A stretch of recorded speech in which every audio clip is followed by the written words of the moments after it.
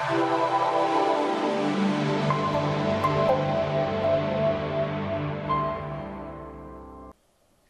going to import orthographic images created by Scene into FARO Zone 3D.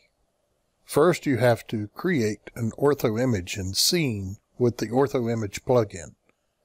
Once that's completed, we can now open FARO Zone 3D, choose the import icon, choose the scene TIFF icon, and locate uh, our TIFF image we want to bring in. Now, because these were created in Scene and they are TIFF images, they will automatically scale when they're imported into FARO Zone 3D.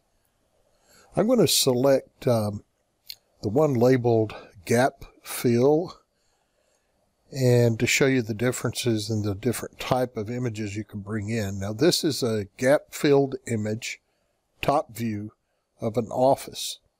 Now when I bring this in, it's going to ask me if I want to create full resolution. In this case, uh, I'm going to tell it no because we don't have to have full resolution for this. If it were a crash or a long outdoor scene, we may consider the full resolution. Now in this case, we have a top-down view of an office area. There's a conference table, over here are some desks and chairs, trash cans, uh, work other work areas, uh, some stairs. Now you don't have to bring in a gap filled image. You could use clear view in scene and bring in a clear view image. And I have a couple of those to show you. This particular uh, clear view image is uh, an isolated image. In other words, I've adjusted the clipping box just to show the outlines of the walls.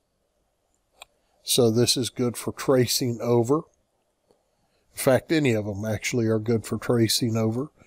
But I'm going to show you another image. This one is going to show uh, a bit less transparency.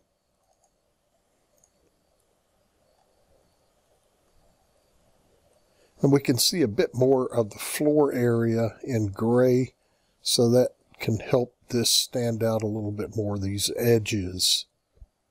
So it's your choice how you want to work with the data, whether you like the full resolution image showing all of the colors, the floor, and all of that, or if you want the clear view so you can just trace over the edges.